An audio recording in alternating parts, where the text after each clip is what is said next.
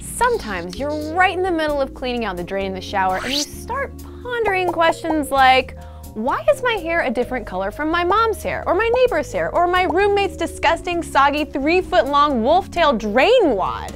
What's the real difference between blonde hair, black hair, red hair, and everything in between? The main structural ingredient in human hair is a protein called keratin.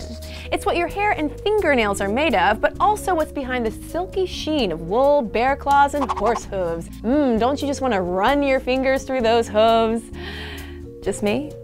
But keratin on its own is not very colorful, and if all humans had on our head was keratin, we'd look like 18th mm-hmm. century French aristocrats in powdered wigs because we'd all have the same sort of white, colorless hair. But Keratin is not the only ingredient in human hair. To create natural color, you need to add pigment. And this is done by cells in the skin called melanocytes. These melanocytes create the natural pigment known as melanin and deliver it to the cells that create keratin for your hair. Now this melanin comes in two varieties, eumelanin and pheomelanin. Eumelanin is a dark pigment that gives hair a brown or black color. Pheomelanin is a lighter pigment that gives hair a red, orange, or yellowish color. Both of these are present in varying degrees, so a person might have a little of each, or a lot of one, or almost none of the other. So someone with black or dark brown hair probably has a lot of eumelanin, not to brag.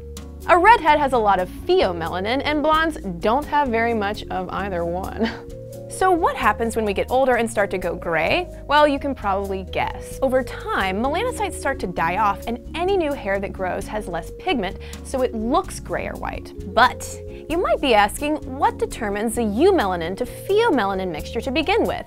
Who writes that hair color recipe? Primarily, it's your genes. For example, the melanocortin 1 receptor, or MC1R gene.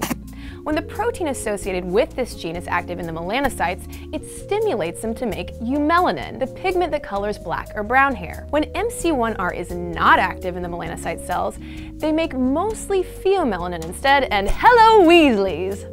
But the MC1R gene is not the only genetic factor that controls hair color. Like most of your traits, hair color is actually affected by more than one genetic variable. So, that's the scoop on hair color. But hey, what's the weirdest thing you've ever noticed about human hair? Let us know in the comments, and if you ever want to learn more about the strange science of the human body with brain stuff questions like, why don't humans have tails?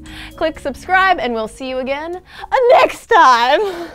I don't know. Who writes the hair color recipe? Not Betty Crocker, it's your genes.